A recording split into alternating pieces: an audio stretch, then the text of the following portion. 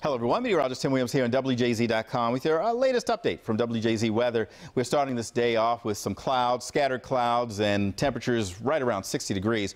As of this update in the 7 o'clock hour, 61 degrees our temperature at BWI Marshall, 59 in Easton, 57 in Salisbury, 61 in Hagerstown, 67 in Elkton, 59 in Bel Air, and 63 in Frederick.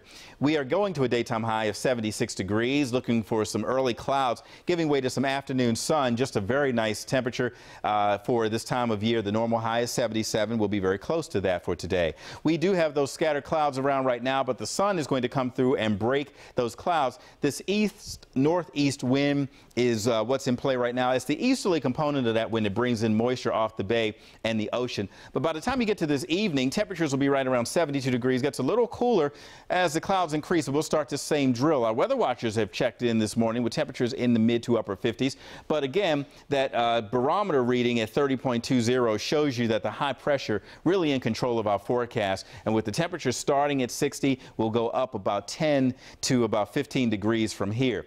So again, those temperatures right around uh, 62 at D.C., 59 in the nation's 59 in the state capital, 62 in the nation's capital, and 61 at our official reporting site. And with the light winds around, it's not going to be an uncomfortable afternoon at all. The light breeze is just going to bring a nice, refreshing bit of air across the state, and that's just the way uh, we're going to see this day play out. So 79 degrees tomorrow, partly sunny, again early clouds and then sunshine. We'll start to feel that humidity building by Wednesday. 81 on Wednesday, then 80 on Thursday. Thursday, Friday, and Saturday, a chance of an afternoon thunderstorm. 86 on Friday, then back to 81 on Saturday. Cooler temperatures on Sunday. Temperatures again very close to normal. There's your latest update from WJZ Weather. We'll see you here with another update near WJZ at noon. Have a great day.